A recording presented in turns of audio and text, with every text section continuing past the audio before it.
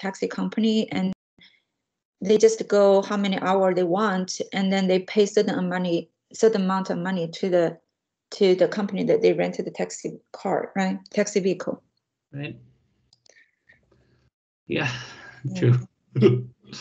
But maybe they want to maybe they want to ensure some like a minimum wage at least make sure that they meet certain income level. Yeah and I think the benefits are important too because I think uh, Uber drivers go to the hospital and then the the government has to pay for their health care. Mm-hmm. Yeah, it's complicated. But the thing is, if that's the case, then like if somebody just do it as a side job, are they going to get also paid? Then they have their own job. It's kind of how you distinguish that, right? Right. Good it's question. Hard. it's hard. yeah. Okay. Um, maybe we should get started. So, hello everybody. Welcome to the USF Transition Seminar. And my name again is Yu Zhang, an associate professor in civil and environmental engineering. And this seminar is sponsored by the CE department, CUTR, the two UTCs uh, at USF. One is uh, TOMNET, and one is the CTEC. And also, uh, it's facilitated as well by the IT student chapter and the WTS student chapter. So today, um, it's our pleasure to have Dr. Kenneth Kuhn. And um, Dr. Kenneth uh, worked in different locations and different sectors. He worked as a professor in Australia and then a senior uh, consultant and a researcher at Rand Corporation, and then later as the uh, um, data scientist at Uber. And now he um, moved it to another company, which I will let Kenny say more about that. So we, we're very glad to have you, Kenny, and look forward to hear your presentation about the sharing mobility. Thank you. Thank you for the wonderful introduction, Dr. Zhang. Um, so uh, Dr. Zhang approached me about possibly speaking in the seminar series, and I was uh, very happy to accept um, more as like a private citizen than as somebody representing my current company or companies I've worked at in the past. Um, uh, like Dr. Zhang alluded to, like I've worked at a lot of transportation engineering adjacent jobs, and some of these jobs and some of these companies I didn't know about when I was a student. Um, there are companies and jobs where like transportation engineers don't always work and where not all of the employees are transportation engineers, but where knowledge of transportation engineering is actually really helpful. And I think there's like a real opportunity here to connect transportation engineers to tech and to connect transportation engineers to the type of work that's done at a place like the Rand Corporation, right? Um, so my the title of my talk is is a little uh, technical and awkward, but basically I want to talk about three things. I want to talk about like who I am and what I've done in the past. Everybody loves talking about themselves, right? Um, but this is also kind of what I was talking about before. Like I want to um, maybe start some trains of thought and some discussions about how we can kind of bridge the gap between what tech does and what transportation engineers do. Um, and then I want to dig into two very specific transportation optimization problems. So these are the types of problems that people solve uh, at places like Uber or Lyft. Um, so I want to talk about the assignment problem and the vehicle routing problem. Um, and in both cases, I want to talk about what these are theoretically, like the math behind them, what they look like, what they, um, how we formulate them and talk about them. But I also want to talk about if you work at a place like Uber or Lyft, uh, what you might be asked to do that's kind of related to the assignment problem or the vehicle routing problem. Okay. Um, and the assignment problem is much simpler. So I'll start with that. And like as time allows, we'll get into the vehicle routing problem, but people have spent their whole careers studying the vehicle routing problem. So we might not um, get into all the like nitty gritty details. Right, so about myself, um, I studied math in college and uh, a lot of what I do is basically math applied to transportation systems and like how do we optimize transportation systems by tweaking various uh, parameters and you know how do we represent transportation systems mathematically. Um, but I got into transportation a bit randomly. So even math, I got into a bit randomly. I was never sure what to study in college. I like the kind of black and white nature of math. Like you have a problem, um, and then you solve it, and you either get the solution or you don't. And when you finally like things start to click and you finally get a solution, that's a really satisfying feeling. Um, So if you know math, you can definitely go into transportation engineering. Um, where I went to college, there actually wasn't transportation engineering. So if you're a student now and you're in a transportation group, like you're way ahead of the game as far as like in comparison to me. Um, but when I went to graduate school, I learned about this wonderful area of transportation engineering, and it was it was like instantly very appealing to me. You could apply math um, to transportation problems, and you could make the world a better place. You could make our transportation systems safer, more efficient, right? So that that really appealed to me. Um, in particular, like the area of applied math that I work in is called operations research. So how do you minimize or maximize a certain function? Um, and there's a lot of people like Dr. Zhang that apply operations research to transportation. Um, so when I was in school, I studied infrastructure management, like how do we decide when to maintain roads and bridges? Um, that's one example of like how you can apply math to transportation, but there's many more. Um, and there was this weird synergy when when we were students between like the infrastructure people like myself and the air transportation uh, people like Dr. Zhang. So in both cases, we were applying operations research to transportation systems. Um, right. Okay, so like we've been talking about, I had a lot of different jobs, and I'm not trying to brag here. Actually, like I haven't progressed very far up the corporate ladder. Like this is not a recipe for success to like bounce around like I did, but it's been very interesting, and like I found a lot of uh, jobs and companies that I didn't know about before.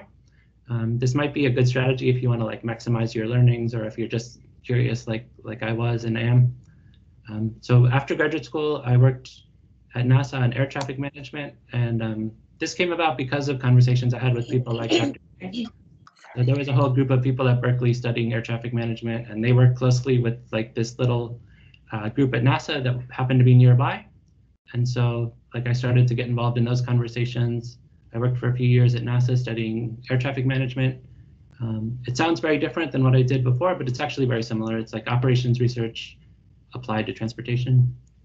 Um, that whole time, I had in the back of my mind that I wanted to be a university professor. Like that's kind of what you, that's kind of like the default goal when you're in graduate school.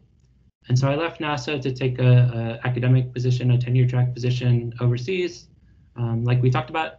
Uh, that was fun. Uh, it was actually New Zealand. New Zealand is beautiful. I love New Zealand. Um, I was there for three years and I studied public transportation. I studied traffic flow theory because like those were the things that were most relevant uh, in New Zealand, right?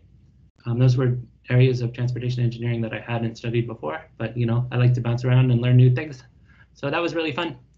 Um, I had to return to the US uh, largely for personal reasons. So after three years in New Zealand, I came back to the United States. I actually didn't have a job. Again, I was kind of bouncing around for a little bit. Um, and I ended up at a place called the RAND Corporation. So if you've heard the term think tank, um, RAND is the, you know, it was the first think tank. So the government asked RAND to think about uh, big topics. So like one project I worked on there was how can the United States government help Puerto Rico in the aftermath of Hurricane Maria? So I worked at RAND for over six years. It's like a really fascinating uh, place. Um, you, you do lots of little research projects when you're at RAND. Um, they also have a, a, small graduate school attached to the company. So this is a great example of something that like I didn't really know about when I was a student, but um, if I had known about it, I might have tried to go there. It's like a fascinating little um, graduate school. Uh, if you're interested in, in like helping improve the government, I would recommend checking out RAND and checking out the graduate school there. Um, so I was at RAND for over six years, which is a long time for me. Uh, it's, it's a fascinating place, but it felt like there was more interesting stuff happening in, in Silicon Valley and in tech. So for the past two years, I've been a data scientist. I was at Uber for a year, and more recently, I'm at a company called Scoop. So Scoop helps people carpool to work together. Um, and it's really about like getting people from home to work in an efficient, um, in a fun manner. Um, there's three different people with backgrounds in transportation engineering at this at this pretty small startup. Actually, four. There's four different people, if you, including myself. So there's like a good transportation engineering component at Scoop, which is one of the things I really like about it. Um, it's really has an awesome corporate culture. It's a cool company. If you like carpooling, you should check it out. um, yeah, but so I guess the point here is that I've had all these different jobs and I didn't know about them ahead of time. these companies weren't necessarily looking for transportation engineers, but like knowing, having a background in transportation engineering ended up being like enormously helpful. So like I think there's some space here to connect transportation engineering and tech or transportation engineering and public policy.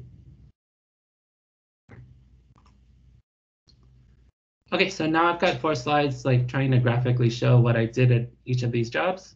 Um, so this is when I worked at NASA. Um, it was very like open-ended research, and one of the main things we were interested in is, is what, what we called the translation problem. So given a weather forecast, can you translate that into what might happen to the nation's air transportation system in some kind of like quantitative way? So um, we had a NASA has a field station at, at Dallas Fort Worth Airport. So there's a pretty strong connection between NASA Aviation Research and Dallas Fort Worth Airport. So we started to look at like what happens at Dallas Fort Worth Airport when there's bad weather. And these are two plots I made of aircraft trajectories, looking at aircraft landing at Dallas Fort Worth. Um, and on the left is what these trajectories look like on a good weather day. Um, so aircraft approach the airport at what are called the corner posts, like a, in these very specific locations in the corners of the airspace around the airport. Um, and the air traffic controller is like, make sure this happens and it's very predictable and orderly. And then on the right, I made a similar chart, but I looked at what happens when there's bad weather. And you can see everything kind of goes haywire. Um, and so my job here was to kind of put numbers behind this and like explain this in charts and in figures and in numbers. And so I looked at like what happens to the corner posts and you see when there's bad weather, aircraft stop using the, the corner posts. And that's because air traffic control and because of pilot decision making. And there's like a lot of factors, but um, it's like a fascinating uh, research project. And in order to study it, you have to know something about math and you have to know something about aviation and you have to know something about, uh, you have to be able to code because a lot of this is like computer programming. So you have to kind of merge all these areas. Um, yeah. So when I went to Canterbury, I got very interested in public transportation. And this was back when cities were first starting to like uh, publish data on where their buses and trains were in real time on the internet. So one of the first things I did was I like downloaded data that San Francisco was posting on the internet about where their buses and trains were located. And then I was able to try to analyze that data and try to say like, where is service good versus bad? and again, it was very similar. It's like getting some data, plotting it, analyzing it, um, trying to put numbers behind like some of the things I was seeing in the data, right? So this is a movie of the locations of buses and trains in San Francisco over the course of a, a given day. And you can start to see like where is service good versus bad. Um, by the way, I made this uh, video especially for this presentation and it took all of two or three minutes. So um, if you're interested in like geospatial data, there's this tool that we used at Uber called Kepler, and it's open source now, and it's like very easy to use, very powerful. If you want to visualize some data on a map, like it's, I, I can't recommend it highly enough. It's it's like a very good tool. So I use Kepler now probably at least once a week at my current job, uh, anytime I have like geospatial data.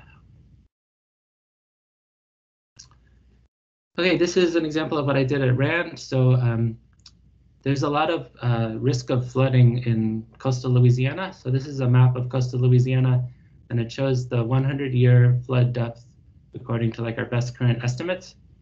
Um, and the federal government asked RAND to kind of look at data like this and think about what the government could do to help.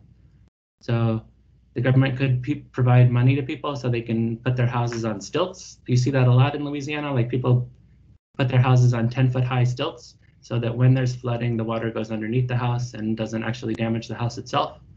Um, the federal government can also pay people to try to incentivize them to move out of like especially dangerous areas. Um, that's pretty contentious, but it makes a ton of sense in some areas where there's just like no real way to reduce the risk. Um, the federal government is also interested in building like levees or flood walls, but then there's a question of where those levees and flood walls go. Um, if you you know, basically they just protect certain areas but shift water to other areas. So you can think of like many combinations of different sets of levees and flood walls that the government might want to build, and you can see like what the results are of putting levees and flood walls in different areas.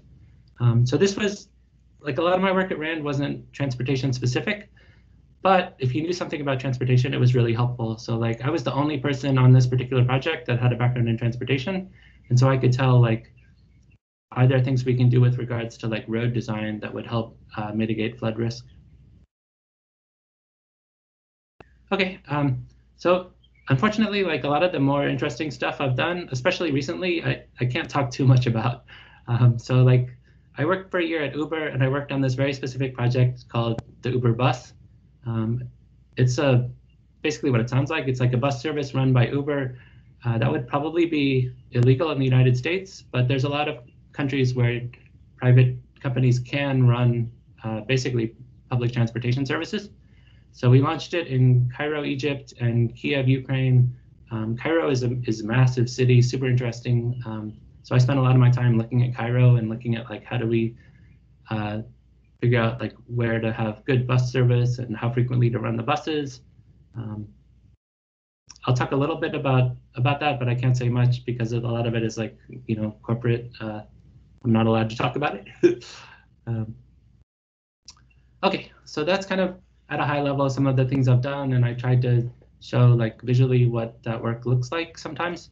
Basically, it's a lot of um, gathering data, coming up with metrics that we might want to track, and like putting numbers behind hypotheses that people have. Um, some of it is is solving very specific problems, like mathematical problems. So you can represent situations in the real world as like an optimization problem. Um, if you've taken classes with Dr. Zhang or, or worked with her on research problems, I mean, you know this better than I do, but there's some very specific like transportation optimization problems uh, that I've worked on and that come up again and again, right? So one of them is, is called the assignment problem. Um, and I'll talk about that first. And in Silicon Valley, we often talk about matching and matching, like the assignment problem is something that comes up when you're doing matching. Uh, so matching just means like, how do you match two different groups of people? It doesn't even have to be two, but how do you match like groups of people or, or requests or how do you match things that are and say like one thing goes with another, right? So this comes up a lot in shared mobility in systems like Uber or Lyft. Um, it definitely comes up at Scoop where we're trying to make carpools, right? You have to decide like which driver goes in a carpool with which rider. Um, so there's ways to kind of talk about this, but like eventually it boils down to basically a math problem, like which rider goes with which driver and which rider does not go with which rider, right? So basically you can formulate the underlying situation using math. Uh, and there's different ways to do this, but there's a couple like famous uh, kind of classical ways to approach this and to formulate the problem. And then once you formulated it, you solve it. So first you kind of list out the equations that describe what's going on, and then you try to solve the problem uh, using mathematical techniques. So there's various ways to formulate the problem. There's various algorithms you can use to solve the problem. Okay, so I'll go into the math here. Um, basically, you have one way to think about this, kind of the classical way to think about this, is that you have certain information that's given to you, and then you have certain decision variables that you're deciding about. So the information that's given to you, um, like the classical way to think about this, is that you have a bunch of drivers and you have a bunch of riders, and there's a certain time it takes for each driver to go to each rider. So that's what we call a model parameter. Um, here I'm saying it's t subscript i subscript j. So that's the time for driver I to pick up rider J. And you can think about like if you have an Uber-like service, you have all these drivers in different locations, you have all these people who want to take a trip in different locations, and then you want to pick, you want to match the riders so that the drivers can pick up the riders like basically as soon as possible. So you want to um, take these TIJ terms and you want to pick out the smallest of them. Um, so to do that, you have this decision variable, which is basically like for any specific driver and any specific rider, does this specific driver pick up this specific rider? So I'm calling that here A subscript I subscript J. And the idea here is we want A ij to be one if and only if we're telling driver I to go pick up rider J. Right? If rider I is not going to pick up, if driver I is not going to pick up rider J, then Aij should be zero. Um, so once you have these model parameters and these decision variables, you can like represent the, the basic matching problem like really compactly and simply. Um, you just want to minimize the sum of the pickup times. So this is minimizing uh, what happens when you multiply Tij by Aij, and then you take the sum of all those multiplications. You take the sum over all riders and all drivers. Um, and then you have some like constraints. So some things that have to be true in order to have like a reasonable solution to this problem. So one of these constraints uh, might be that you pick up every rider, that you assign some driver to pick up every rider.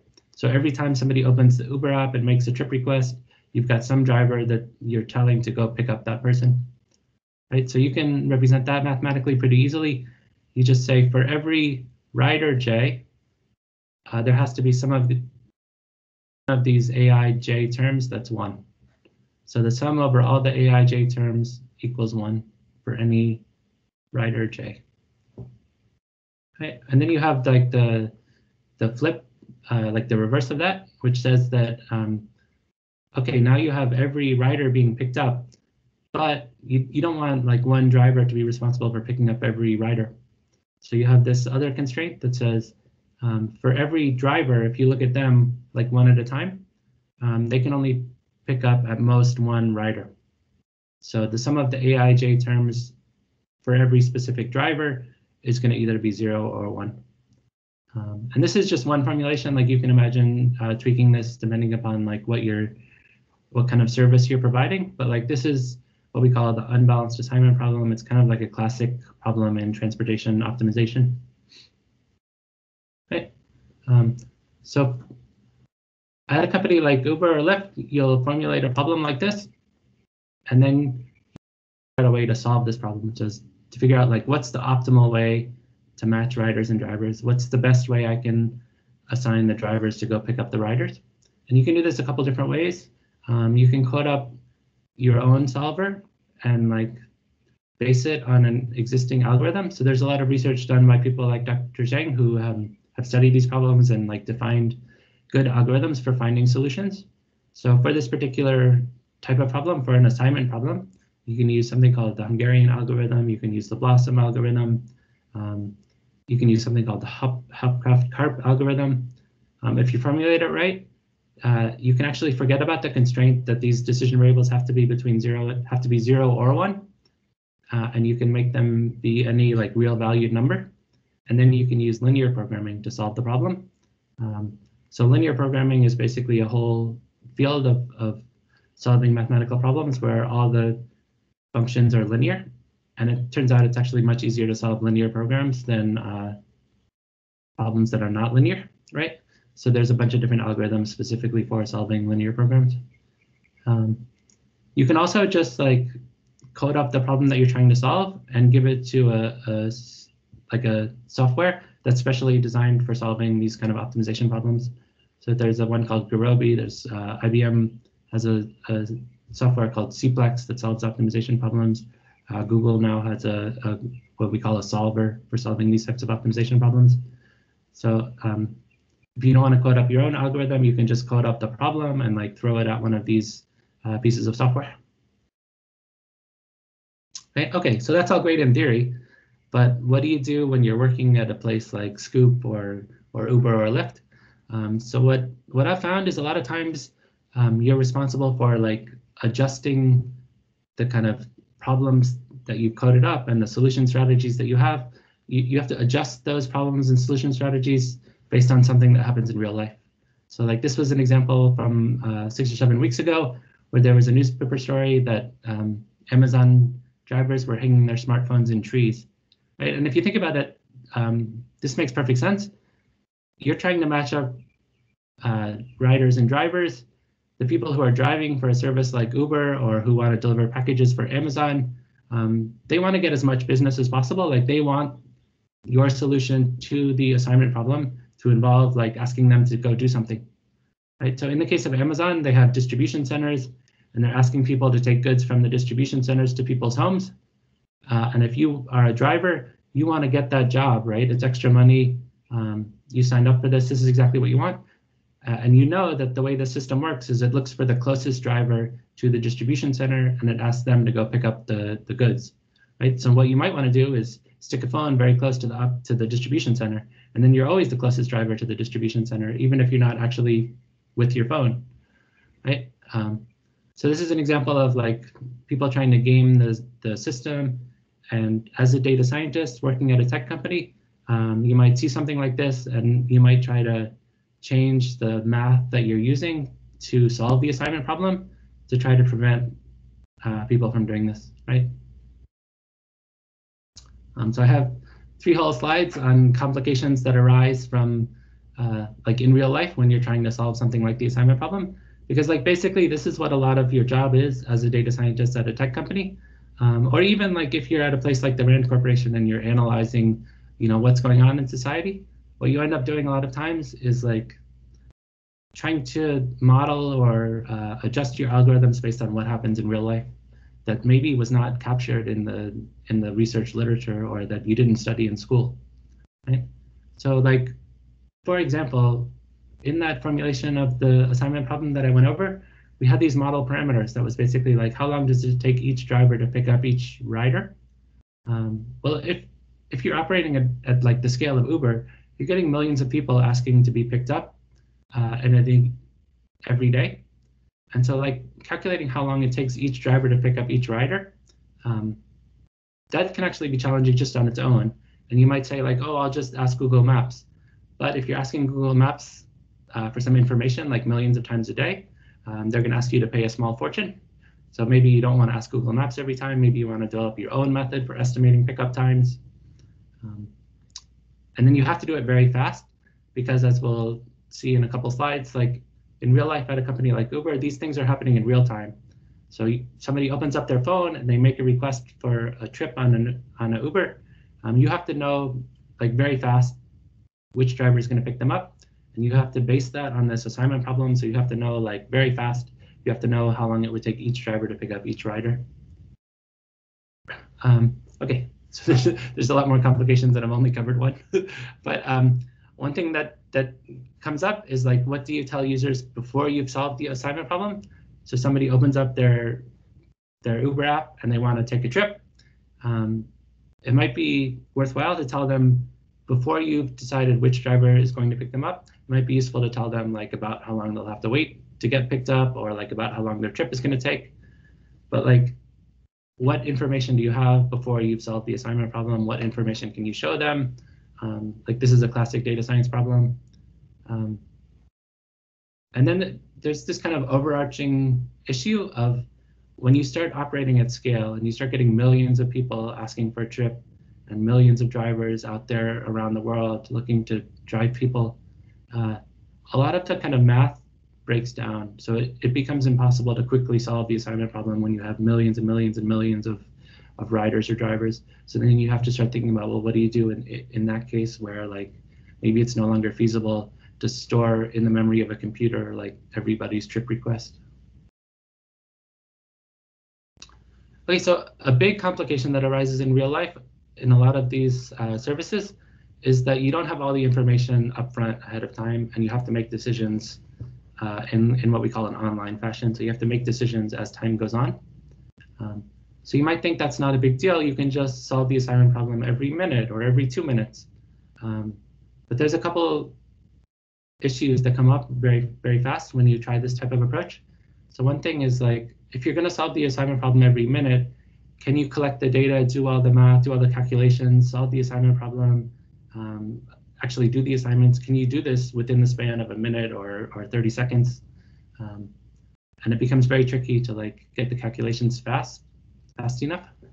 Um, and then there's like a practical problem here, which I think transportation engineers uh, are in a particularly good position to think about, which is um, basically like if you're thinking about the problem that a company like Uber faces, if you want to resolve the assignment problem every minute, you've got a lot of drivers out there looking to, you know, work on the Uber platform and you've only got a, a, small number of people who actually in that moment have their app open and are looking to be picked up and take a ride.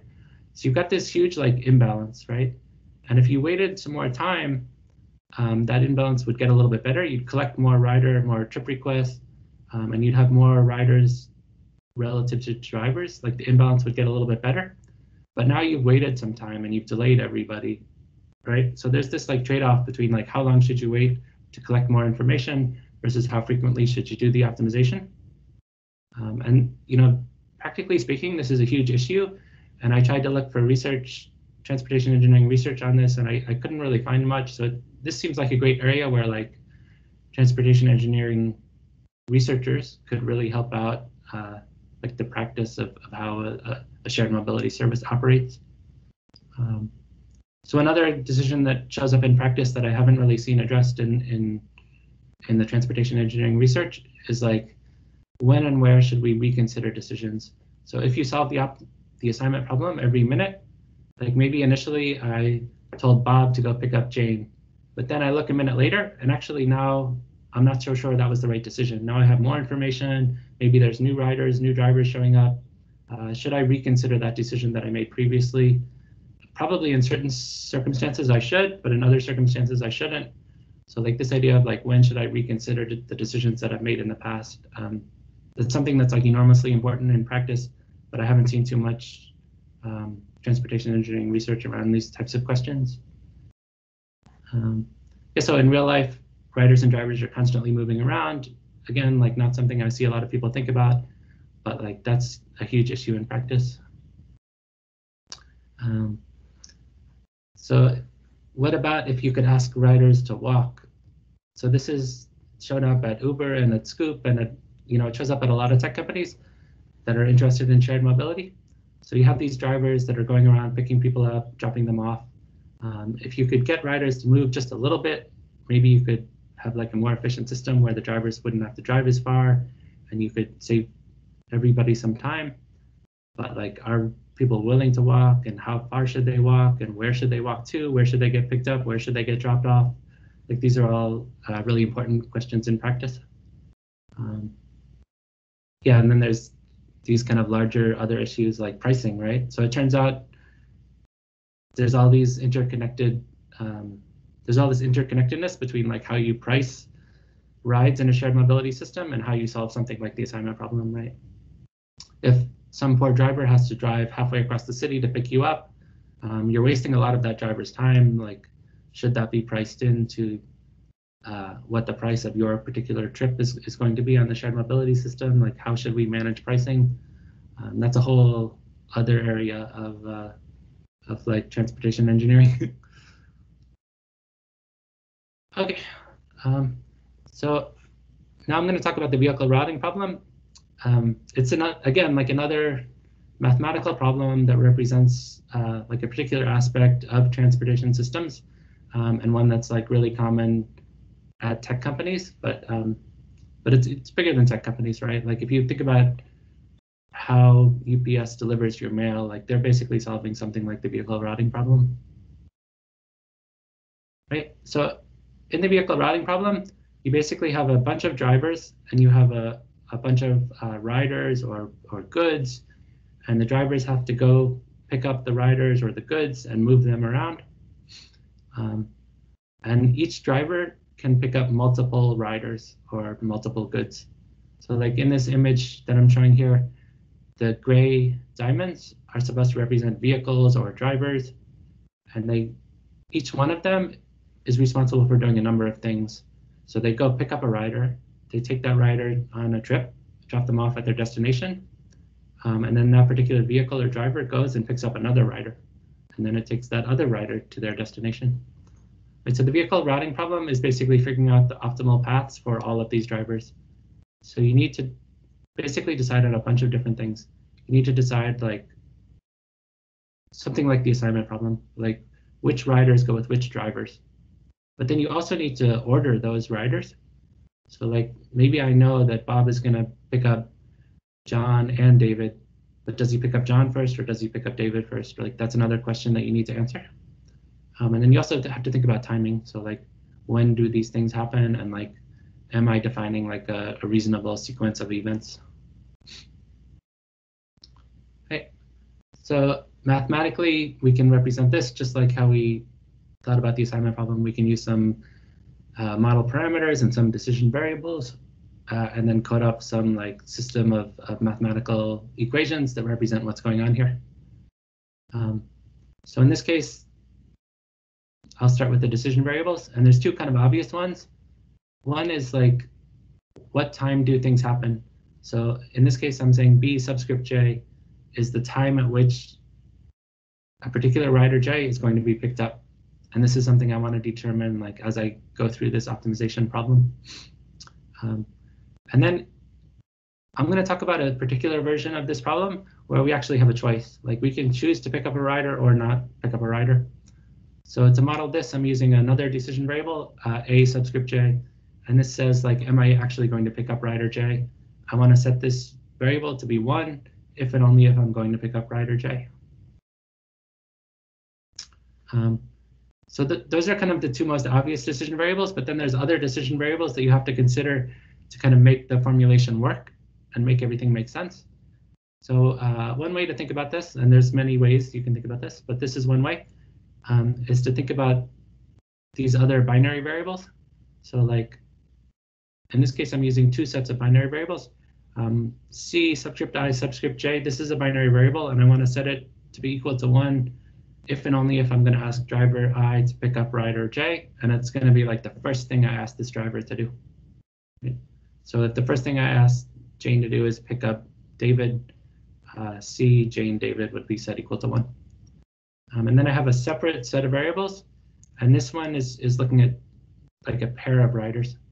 So I want to set D subscript J subscript K. I want to set this variable to be equal to one if I'm going to pick up J and then take them on their trip, drop them off, and immediately afterwards I'm going to pick up rider K and take them on their trip. Um, so this is kind of a, it's not the most obvious way to formulate this problem and think about this problem, but it's actually really efficient because um, I only have to think about two things at a time, right? I have to think about for each driver and rider, like what's the first thing that driver does? Does it pick up that rider? Is that the first thing that driver does?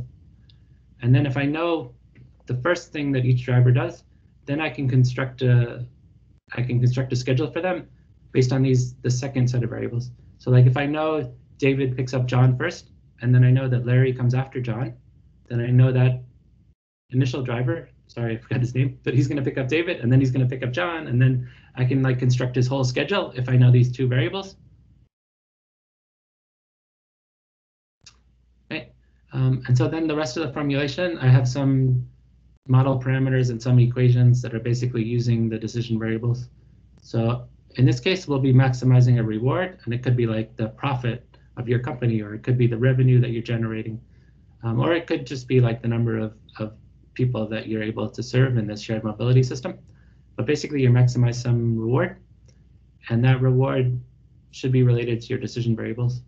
So in this case, I've got Qij and Rjk terms, and these correspond directly with the decision variables I talked about before but it's basically like the reward I get when I set one of my decision variables to one.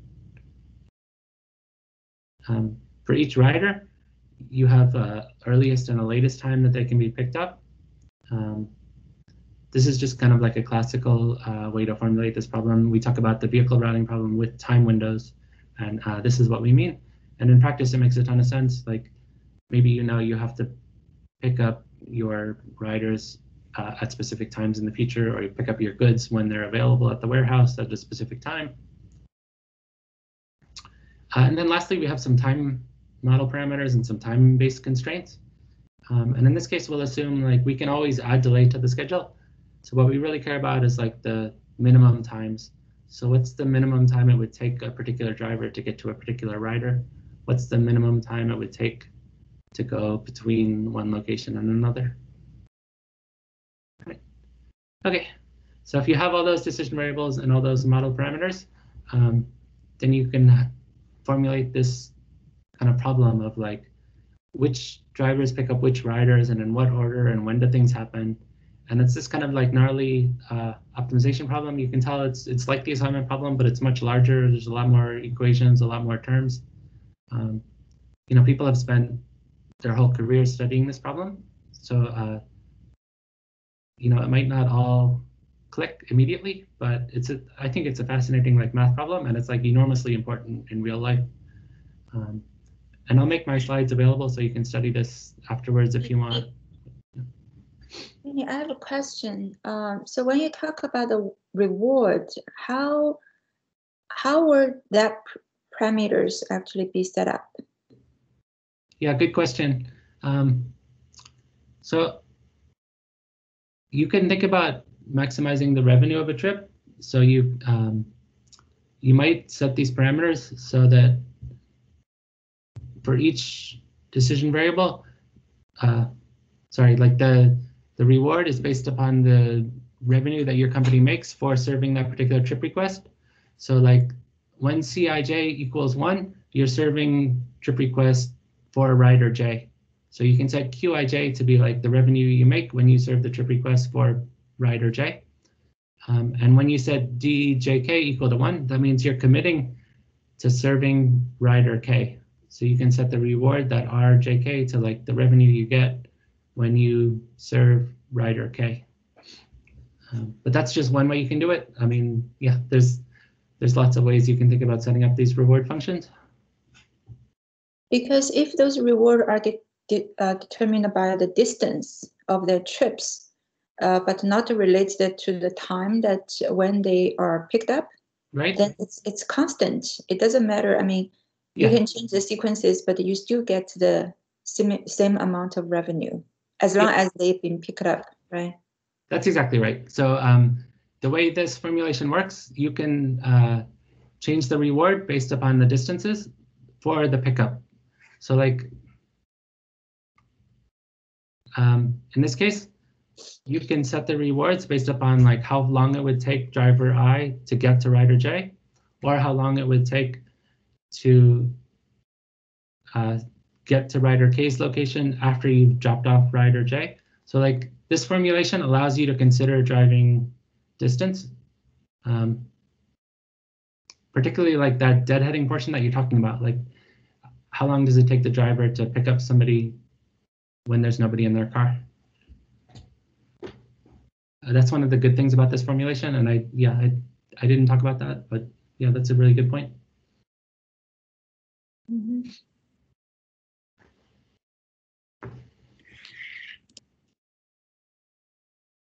Okay, so um, I don't want to go through the math in, in too much detail, but it's in the slides and you, um, you're welcome to look at, I'll provide a link afterwards and you can always ask me questions afterwards. Um, but basically, you try to maximize this reward function, which might be like the revenue for your company. So actually, um, when I applied for a position at Uber, they asked me about a problem sort of like this. And I said like, oh, I would maximize the profit of the company. And I set up this whole system of, of mathematical equations based on this idea of maximizing profit, and that's not what they do. so uh, some companies maximize profit, but that's not it's not exactly how Uber operates at the moment. um, but yeah, basically you're maximizing some kind of reward function. Um, you have to make sure that each drivers only pick up one rider at a time. Um, these three constraints kind of go together. These are all constraints about your binary decision variables. Um, and then you've got these other constraints on the bottom, and these are more about the pickup times. So each rider's pickup time has to be within the allotted time window. Um, that's kind of obvious, but that's an important constraint. And then you have to relate the time windows to these binary decision variables. So basically what this means is like for any particular rider, the time at which you say you're going to pick them up has to respect like each driver's schedule. Um, so it, you know, this is kind of complicated to unpack, but it's basically relating the binary variables to the pickup times. Um, so this is a, you know, not the most obvious way to formulate this problem. And like, maybe it's not the first thing you think of when you think of like a taxi service, but it's actually like a really efficient way to kind of describe what happens in a taxi service or at the post office when you're trying to deliver packages. It's a, one of the reasons it's efficient is because if you look at all of the things I'm describing as, as decision variables, there's only two subscripts in any one term. Like Cij or Djk, there's nothing with more than two subscripts. Um, and that's actually like surprisingly difficult to, like it's pretty difficult to think of a formulation that works where there's only two subscripts on each of the decision variables. Um, and then if you look at all the equations, like I have constraints where I talk about what happens for each driver or for each rider. Um, but in each case, I'm only looking at one set of people, right? That first constraint, the sum of the Cij terms is less than or equal to one. I have this constraint for every driver, um, but I don't have it for like some combination of riders and, and multiple drivers or, you know, it's, it's just, there's only one group of, uh, I'm only looking across one group of people, the drivers, and I have one of these constraints for each driver. So if I is the number of drivers and j is the number of riders, then I only have i plus 4j constraints. And that's, you know, that's actually a really efficient way to kind of think about what a taxi service does. Um, so when I first saw this problem, the thing I did is I tried to fix all the binary decision variables, and then I tried to determine like what pickup times made sense. Uh, and that's a really easy problem to solve. Like if you know what each driver is going to do, then you just pick up each rider basically as soon as possible. Right, so that's one way to think about this problem. You know, at scale, you probably can't solve this problem to optimality, but maybe you can start with some assumptions and like get a pretty good solution. So maybe you can start with some driver assignments, and then you can try to figure out like when I should pick up the riders, and that's a pretty easy, easy problem, it turns out. Um, but then one of the things that's interesting is you can flip that on its head. So I just saw a transportation engineering research paper that did like basically exactly the opposite of, of what I was trying to do. And they first picked the pickup times for each rider, and then they went based on those pickup times and tried to plot out like paths for the drivers. Um, and yeah, it turns out that's also a really easy problem. Um, if you know when each rider is supposed to be picked up, then these final two equations become kind of trivial. Um, if you know when each rider is going to be picked up, it's very easy to say like, is it within the time window that's that you've already set up for that particular rider? And then, it, you know, it's kind of obvious it either is or is not within that time window.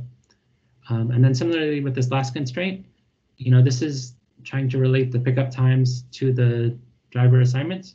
And like some driver assignments will be feasible, like this driver can pick up this rider in time to meet the scheduled pickup time. Uh, and some assignments will not be feasible. Like, no, there's no way John can pick up David at the time specified, right? So these two constraints, if you know when people are supposed to be picked up, these become kind of uh, trivial. You just know that certain things can happen and certain things can't happen in terms of driver assignments. Uh, and it turns out the top half of the problem is also, you know, pretty trivial if you know the uh, times at which people are going to be picked up. So this turns into a special kind of problem we call a network flow problem. Um, it's actually linear. Uh, you can remove these constraints if the decision variables have to be binary, and you can find an optimal solution where just kind of naturally the decision variables become binary. Okay, sorry, that was a ton of math, but um, basically if you encounter something like the vehicle routing problem in real life, um, just like with the assignment problem, you can try to code up your own algorithm for solving it, and maybe you can use a, you know, something you see in the research literature that other people have tried and, and found to work pretty well. So there's something called a two-opt heuristic that works for all sorts of problems. You can pretty easily code that up yourself. Um, or you can just formulate the problem and throw it at one of these uh, solvers. So like Gurobi or CPlex that I talked about last time. Um, but actually there's special solvers just for solving the vehicle routing problem because like it's such a fundamental problem at so many companies that, you know, in so many research papers. So there's uh, something called OptaPlanner, there's something called NextMV, and these are solvers like specifically designed to solve vehicle routing problems.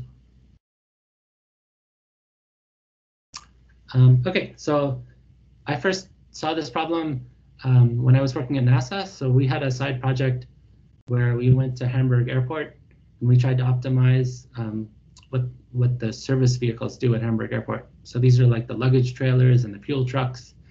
Um, and when you're managing like the fuel trucks at an airport, you have to decide like where it goes over the course of a day. And you know the flight schedule, so you know when flights are going to arrive and depart, and you have to decide like where the fuel truck should go, which flights, which aircraft it should serve in which order. And it turns out like that's a vehicle routing problem. Right, so we had this project to kind of optimize how the fuel trucks and the luggage trailers moved at Hamburg Airport, and it was called the Karma Project. And this was like my first exposure to the vehicle routing problem. Um, okay, so that Karma project to the extent that I was involved, it really looked exactly like the vehicle routing problem. But then I went to work at places like RAND and Uber uh, and Scoop, and you have all these real world complications that um, make things a lot harder.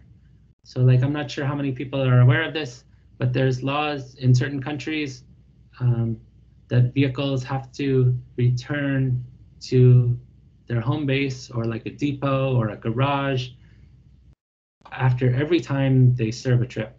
So if you're requesting Uber in Germany and you take it from one location to another, some driver will take you and then they'll have to go back to some garage or some depot. Um, this is not just in Germany, this is in a lot of locations. This is not just applying to Uber. Um, you know, I personally, I think it's pretty terrible. Like, it's a pretty terrible law. It's a pretty terrible regulation. It's not good for the environment. It's not good for uh, people who want to get picked up or dropped off certain places. It's not good for drivers. But like, this is a real law, and there's lots of laws like this. So maybe you're trying to solve the vehicle routing problem, and you have to incorporate some sort of uh, strange regulation like this. Oh, Kenny, for that rule, is that also implemented in the US? I don't think it's in the US. No, I, am not an expert here, but I, I remember hearing um, Germany, maybe Spain, possibly South Korea, but like it's, yeah, it's certain countries and not others. and what's the reason for asking them to go back to the base? I think it's to make them look more like taxi services. Um, yeah, I don't I don't honestly know. This is a good yeah, this is a good public policy question. I wonder like what the motivation here is. mm, okay.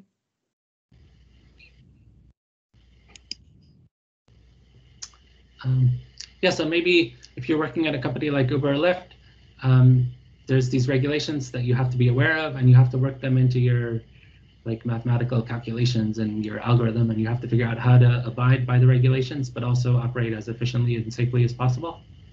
Um, that's an example of something you might do as a as a data scientist at one of these companies. Um, if you're working at a place like like RAND, where you're on the other side of the table, you're thinking about like what are the best regulations.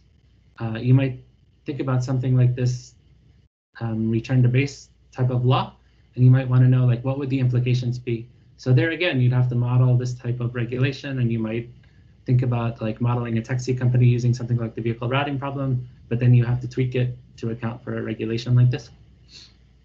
Um, so with the assignment problem, we had to figure out like what are the times it would take drivers to pick up riders.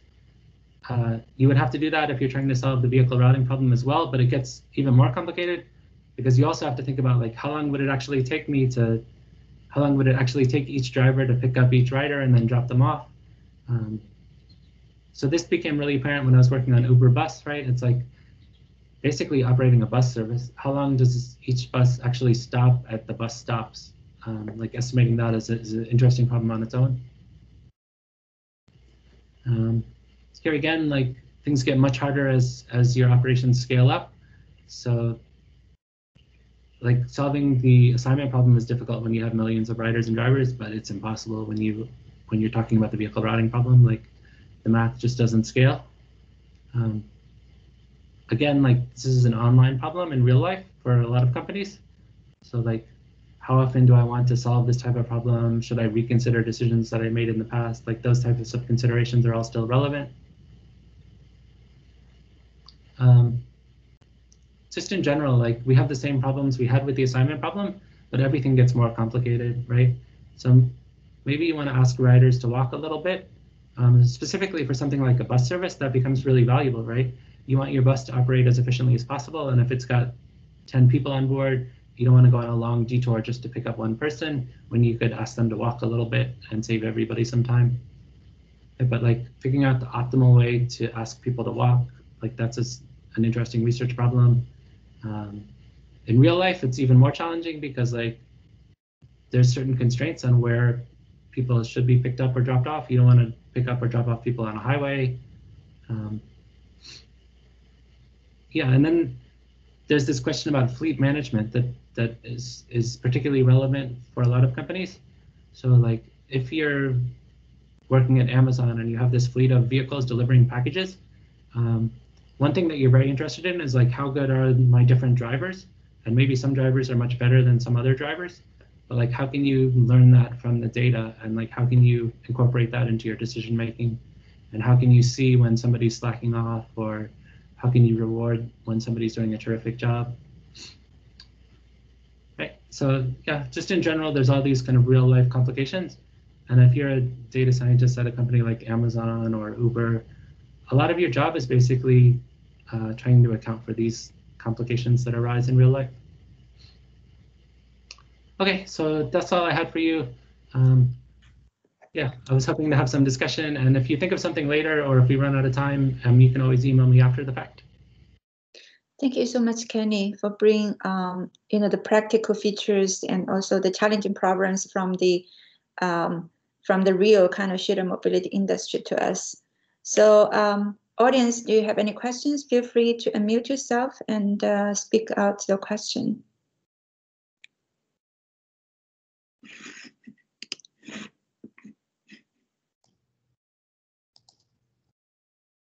So Kenny, maybe I uh, continue to ask about one question is you mentioned that uh, the Uber didn't want to use the Google map for millions of the quotes every day about the travel time. And with if if Uber has enough drivers and serves enough trips, um, will, will they be able to kind of estimate the travel time by using their own data? yeah, I can't say too much. And like to be totally honest, I don't know that too much about that, but I think the answer is yes. I see. And for the Scoop company that you're working on, you mentioned that, that is for peer-to-peer sharing. Yeah, that's right. Um, so Scoop is interesting because we work with large employers. Um, so like uh, LinkedIn will ask Scoop to help them uh, help their workers carpool to work, and then the workers can download the Scoop app and find somebody that they want to carpool with. And then, uh, yeah, so there's this like component where we're working with businesses and employers, but there's also this component where we're working with like individual people that want to carpool to work together. Oh, so when you say working with individual, that means you also have a platform that actually the users can register and um, obtain the service from your company to do so, right? Yeah, that's right. It works much better if you work at an employer that we work with, but um, you can definitely, everybody at home can download the Scoop app and try to see if they can carpool to work together. Um, yeah, it, it, works much better if you work at LinkedIn or one of these companies that we partner with. Yeah. okay, any questions from students?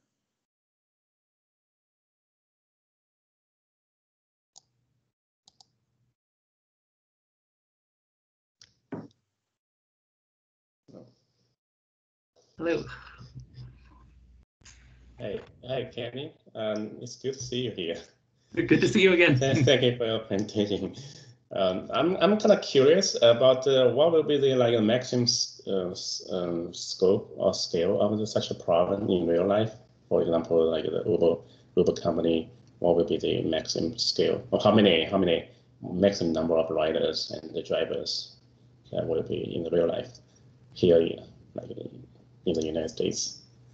Yeah, it's it's difficult for me to say because I worked, I was kind of uh, mainly working on the Uber bus project, and I was a little bit separated from my colleagues. But I would, hmm, yeah, yeah, I don't know if I should hazard it. uh, just uh, don't, you don't have to tell the number. I mean, honestly, because I'm thinking about the maybe some other countries like in China, so they have similar problem, and then maybe they have a larger scale problem yep. considering the number of riders and the drivers. It was definitely like on the order of thousands, or or you know, uh, yeah, can't say too much, but like thousands. Okay.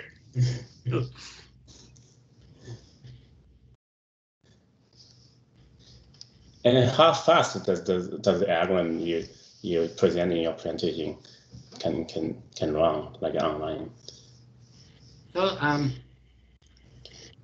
like I got very interested in the vehicle routing problem at one point, and there's this um, paper by some MIT professors that I that I was looking at recently, um, and it's basically I would say less than half a second to solve like problems that involve thousands of, of trip requests, um, and that that matches with what I know about Scoop and Uber. Like we're talking about um, fractions of a second, thousands of trip requests, and like it's a lot about heuristics and not solving to optimality. So like how fast, how good can you get within uh, a fraction of a second, basically? Or, yeah. Mhm. All right, any other questions from the audience? I guess not everybody's working from home. Not even drive.